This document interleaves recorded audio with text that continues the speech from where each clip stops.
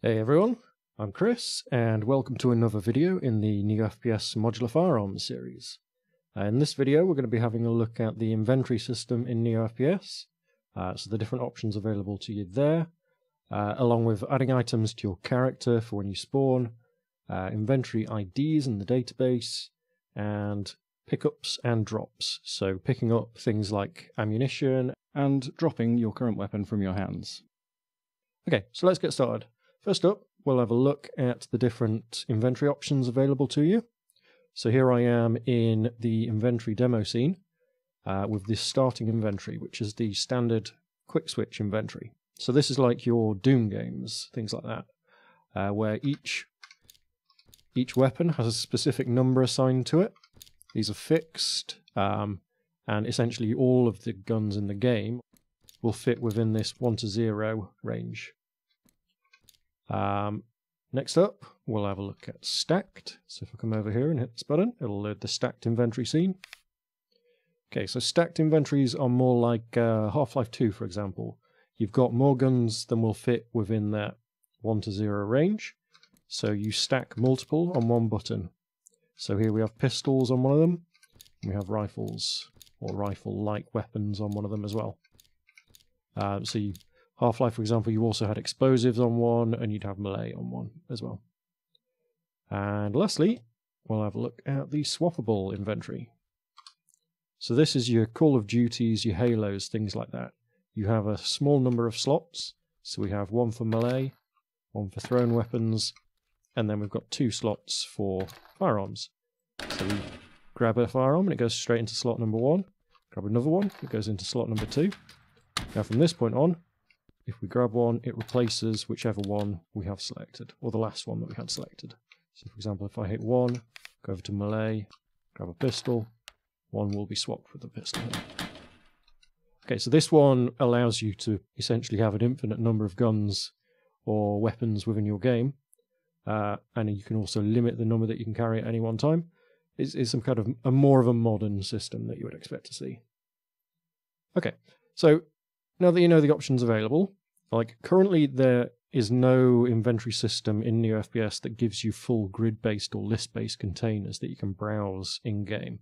Uh, so you can't open up crates, pick things out of them, uh, change them around, things like that. Um, I'm looking at options for that coming soon, but essentially this is much more focused on your shooter type games. So adding uh, inventory items to your character. Okay, so exiting the scene, we have the demo scenes right here, inventory standard, stacked and swappable. And for each of those, we've got a character. Uh, stacked, swappable, and the standard one just uses the single player NeoFPS solo character. So this is in NeoFPS samples, single player, prefabs, or for the inventory based ones, single player scenes, feature demos, inventory. So if I have a look at the solo player character, you can see on the root here, uh, where are you? There we go. FPS inventory quick switch. Uh, the options available on here are the item root. So this is where any ob uh, objects that you pick up are going to be placed in the hierarchy. We have the wieldable root scale. This uh, scales objects that you're holding. Uh, you won't be able to see the scale change, but it helps with things like not intersecting with uh, geometry. Uh, so you can apply that to all of the objects uh, at once. The drop transform, this is when you hit drop uh, and you drop the item that you're holding in your hands where it will be spawned, and it'll be spawned with this velocity. So then we have the quick switch specific settings here. So this is the slot count, and then what happens if you pick up uh, a duplicate object or an object with duplicate IDs. Um, so default behavior is to reject the object you're trying to pick up. You can also destroy the old object or drop the old object. Underneath that, we have the starting state. So the backup item is your hands. Essentially, if you were to drop all of the items in the quick slots, you'll be left just with your backup item.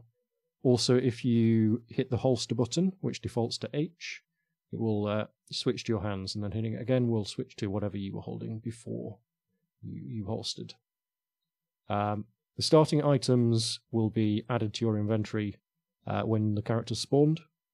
Um, so you, for example, here we have all the different ammo types, and then we have one of each of the different guns.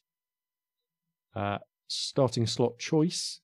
So this is um, when you start, which item selected. So you can go ascending order, descending order, or in this case, custom. So I've, I've specified by priority uh, which of the items you're going to pick if you've got them in your inventory. So here, five is assault rifle, shotgun, sniper rifle, revolver, pistol, grenade launcher, baton, blah blah blah. So essentially, though in that order, in in that order of preference, is the item that you will select when you first start up. Okay, so that's the quick switch one. Let's have a look at the stacked one. So here's the stacked inventory. Essentially, all of the uh, properties are the same, apart from the stacked inventory section here. So we have the same duplicate behavior, reject. We also have a stack count that you can set. So this is essentially the same as the quick slot count, but for the number of stacks. And then the swappable inventory, again, similar. The difference here is you get to select each of the different categories, and you can say how many of each of those different categories you have. So we've got two firearms, one melee, one thrown. The categories themselves are a generated constant. Um, now, what that means is that it's an actual code enum, uh, but there is a way to uh, modify that in here. So um, if I open Tools, NeoFPS, New FPS Hub, this gives the uh, the hub with the quick starts and all things like that. So here we have it, the generated constants. Uh, so this is under managers, generated constants. Um, and within here, each of these is a set of constants that are available in code uh, and also available in dropdown. So for example, here we have the swap action drop down, same kind of thing. Yeah, so it provides an inspector style dropdown. And if we go through, we can find, where is it? FPS swappable category. So here you can add your own categories. Bob, if I was then to hit uh, generate, that would generate the script to go with that. And all of a sudden here you would get Bob would appear. Uh, let's not do that though. And yeah, so that's uh, expanding the swappable inventory. We've had a look at one way to add items to the character on start.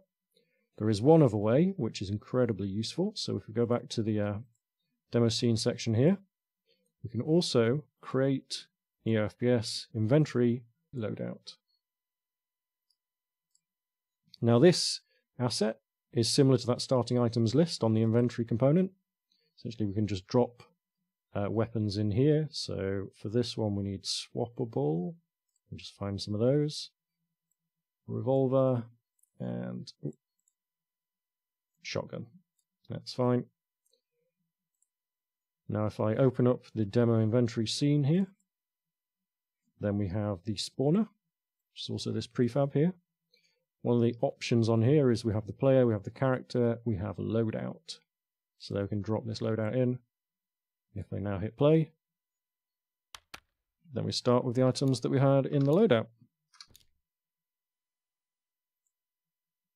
So that's uh, the different options available. That's how you choose your starting items. Now, one of the other important concepts is uh, on the items themselves. Let's just grab one of these again. So swappable assault rifle, for example. If we look on here, we can find somewhere FPS inventory wieldable swappable. This is the inventory item component. So this is what allows you to add this object to your inventory. This is also uh, a wieldable item. So this is one that you can uh, hold in your hands and you can interact with. So melee weapons, thrown weapons, firearms, tools. And there's two types of these. There is the FPS inventory wieldable swappable, and there is also the FPS inventory wieldable. So for the quick switch inventory and the stacked inventory, this is the one you want to use. And this gives you a quick slot here. So this quick slot um, is equivalent to your keyboard number. Uh, however, it is array based, so it starts at zero. It's a little bit finicky just to get your head around, but essentially take the keyboard number, subtract one, that's the quick slot. Um, for quick switch, For the stacked inventory, essentially you're talking about 10 potential weapons per stack. So 0 to 9 is your first stack, uh, 10 to 19 is your second stack, 20 to 29 is your third stack, and so on and so forth. The 0, 10, 20, that's your which stack you're in. The 0 to 9 within that is the uh, the priority within that list that the weapon will appear. So if I look at the stacked uh, shotgun, for example, 21, whereas the stacked assault rifle, 20. Uh, and they appeared within the same list. Quick slot numbers need to be unique per gun. So what that means is that if you have two different guns, say a shotgun and a pistol, and they both have the same quick slot, if you pick up the second one uh, and it's got a unique ID, so you can actually pick it up, then it will not be added to your quick slots. So make sure that if you're planning to have a large number of weapons or items, you use the stacked or the swappable inventory system. If we go back to the swappable, uh, this one's a little bit different. This has on it the category. So this is the one difference. Essentially, you just say, am I a firearm, melee, or thrown? Or if we had ever added that Bob category, then that would appear in this drop down as well. So the other important thing about these uh, items, these item or wieldable components, is the inventory ID. This is a unique identifier for every different object that you can pick up. If you're already holding an item with that specific ID, then it's considered a duplicate if you try to pick up another one. So the default is you reject that new item uh, and you just won't pick it up. Uh, there's various other options as we saw earlier. But essentially, what it means is that for every different type of object, you want to create a different ID. Uh, and the way that we do this is fairly flexible now. So if we open up Tools, NeoFPS, New FPS Hub, and then back to Managers, we have here the inventory database. So the inventory database holds all of the different IDs that you can use. Uh, at the top of the list here is the scripted constants. So this is like the, the category here. This is a generated script. So each of the different ones here can be referenced from code by name, um, but they are also completely fixed. We also have these inventory tables that let you specify names um, you can sort them, you can change the names of them, and that will propagate through to the different items. Uh, and you can do things like uh, you can duplicate the entry, creating a new one with the same name as a starting point, but with a new ID. You can remove the selected entry, or you can copy the ID for debugging and stuff like that. So this is uh, all the different demo items here that we have for NeoFPS and then I've created another table for the uh, for the tutorials. Um, now, the best practice for your own project is to create a table specifically. And the way that you do that is dead simple. Create NeoFPS uh, from the project view. Create NeoFPS inventory database table. So this new table, you can give it a name. So test table. And then up at the top here, we have uh, a little warning saying this database table is not currently registered with the inventory. So if we just hit register, then there we go, popped up in the inventory database here. And if we select it, this is our new table. Uh, so from here, or from the actual table itself at this point, we can add whatever we want. Demo gun. Add new entry, and this appears with a unique ID. And what this means is that we can go back to our weapon. So where are you? You are assault rifle swappable. Go to the inventory, and in the inventory ID, if I click on this, this opens up the inventory database browser. So we have test table up at the top here, and then you demo gun. So double clicking that we'll add it. Um, the reason that you want to create your own inventory database table is to prevent clashes when NeoFPS is updated. For example, if I was to add new uh, new guns, new items, then I don't want you grabbing an update to NeoFPS and finding that the inventory table from the NeoFPS samples is overwriting the different things that you'd added to it. So the best thing you can do is add your own table. Uh, worst case in the update is that your table will be removed from the database, so then you just need to hit that button up top again yeah, anyway, so With the assault rifle here, the other thing that we can do is from clicking this again and opening up the inventory database browser. Uh, down at the bottom here, we have a section called New Entry. So if we click this drop down, this is all the different tables that we can modify. So we can go to that test table that we had, create something else, new gun, and then hit add new entry, and this new one appears here, and is also selected on the weapon itself. So it's dead easy to add new keys as you need them for the different objects. Just make sure that you keep track of the table. Make sure that you use a consistent naming convention. You can come back and change it. So gun 2, for example, in here, and then this will change to be reflected here. So it is tied by ID, it's not done by string, so you don't need to worry about that. And yeah, just make sure you have a unique one for each object, and then you'll be able to add all of these different ones to your inventory. Okay, so that's the uh, the actual inventory items. Now let's have a look at pickups and drops.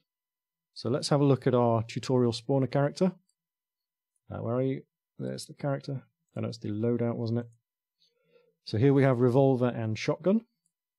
So if I just select this here and we look at the inventory wieldable swappable again, the inventory component, and you'll see in here um, one property called drop object.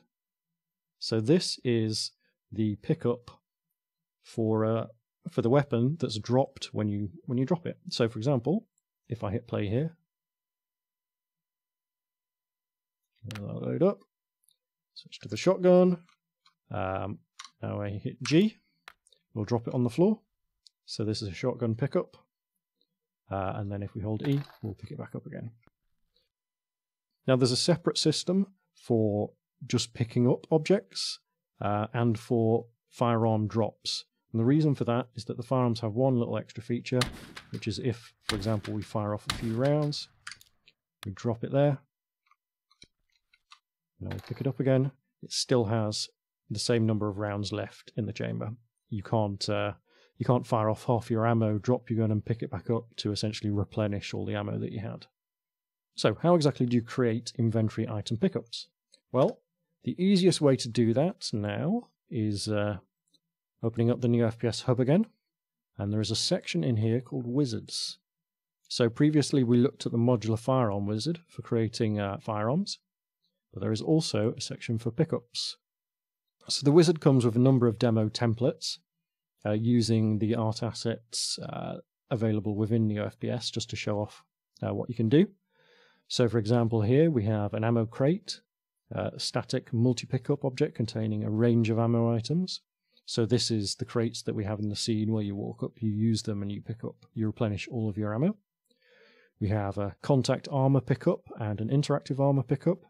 So the armor system in Neo NeoFPS just checks in your inventory for an inventory item with the armor ID attached to it. And that's how it works out how much armor you have remaining on your character. We have a pistol firearm drop. So, like we're looking at, this is one that sorts out the ammo count as well as being a, a pickup for the weapon itself. We have health pack pickups, uh, contact one and interactive one. We have shield booster pickups, contact and interactive and we have a wieldable baton pickup. So like the firearm one, only obviously we don't have to worry about ammo or anything like that. So first up, let's have a look at the pistol. So if I start from template here, uh, and we just run through this quickly, we have the prefab name, so pistol. Auto prefix will add um, a naming convention, standardized naming, to the beginning of that. Uh, overwrite will overwrite any uh, existing prefabs. We select the pickup type, so this is your modular firearm pickup drop. We have the wieldable items like the baton, inventory, health, multi-inventory, so on and so forth. Then we have tap or hold. So since the modular firearm drops are always interactive, you don't have contact-based ones. Um, you essentially have the option of do you want to hit E and instantly pick it up, or do you want to hold E to pick it up? And this is the whole duration. So next up, this is the actual prefab that we want to pick up. So this one is a pistol. Um, so this is the first person weapon.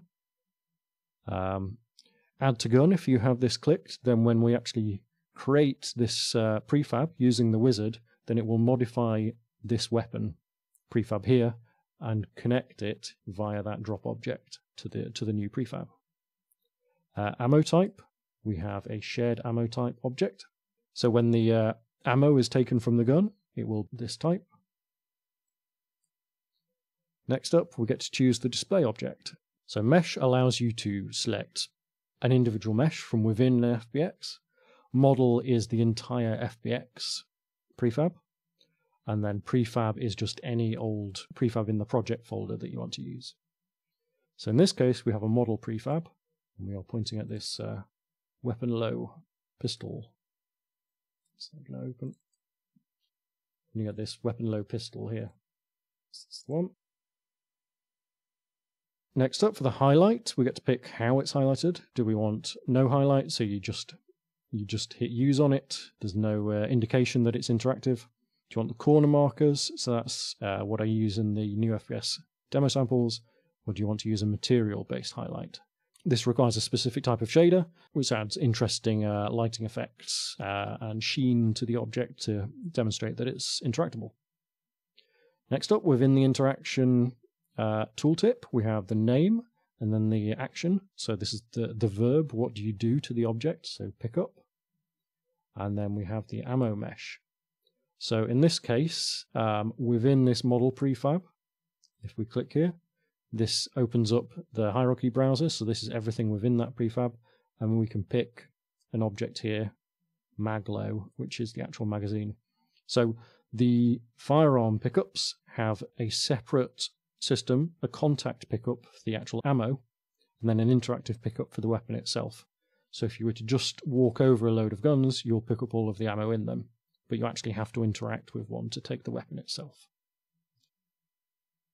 Uh, next up, quite obviously, we have the uh, pickup audio, the audio clip that's played when you actually pick the item up, and the ammo audio. So when you actually walk over the ammunition and pick that up, this is the ammo that's played there. And then we have physics. Um, so, because this is a firearm drop that you actually throw away from you, uh, this has rigid body physics, so a massive one, collider type of box. Uh, so you can choose from all these different ones, and then a surface material. So this is just the uh, the audio and the visual effects if it gets hit, for example. And that's that. Once you've created your, uh, once you've set up your uh, pickup, you can save it as a template if you like, uh, so that you can use the same template again for variants, or you can just create the item here and it will uh, it will spit it out. So if I just open up the NeoFPS tutorial demo scene, select folder, there we go. Spat out this uh, weapon pickup pistol. So this has the uh, ammo pickup, the render geometry, uh, all the different parts, and then on the root of it, we've got the rigid body for the physics. We've got the audio source for playing the audio as you pick it up. Uh, simple surface for impact and collisions. We've got uh, box collider for the uh, weapon itself. have an interactive pickup script which picks up this uh, uh, the root here, which picks up this firearm.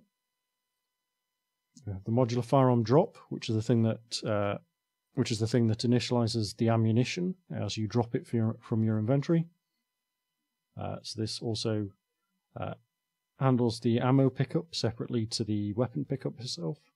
We've got the corner markers, which highlight it in the scene. And then we have finally this neo serialized game object, which is used to save the, uh, the position and things like that. So since it's a rigid body and it can move around the scene, when you hit save and then load later, you want the position of it to have changed. There we go. That's everything required for the for the pistol. Let's go back to the uh, hub to look at the other templates. Boom. Next up, have, let's have a look at the contact armor pickup. So as I said earlier, this is essentially just a simple inventory item pickup.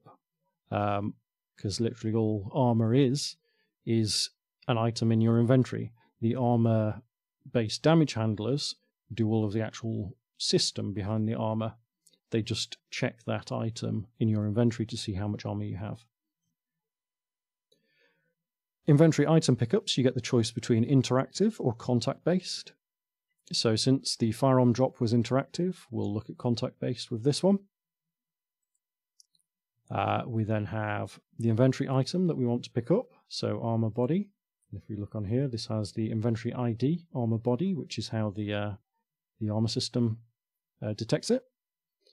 So spawn on awake means that as soon as this pickup wakes up within the scene, it will spawn the uh, the armor item within it for you to collect.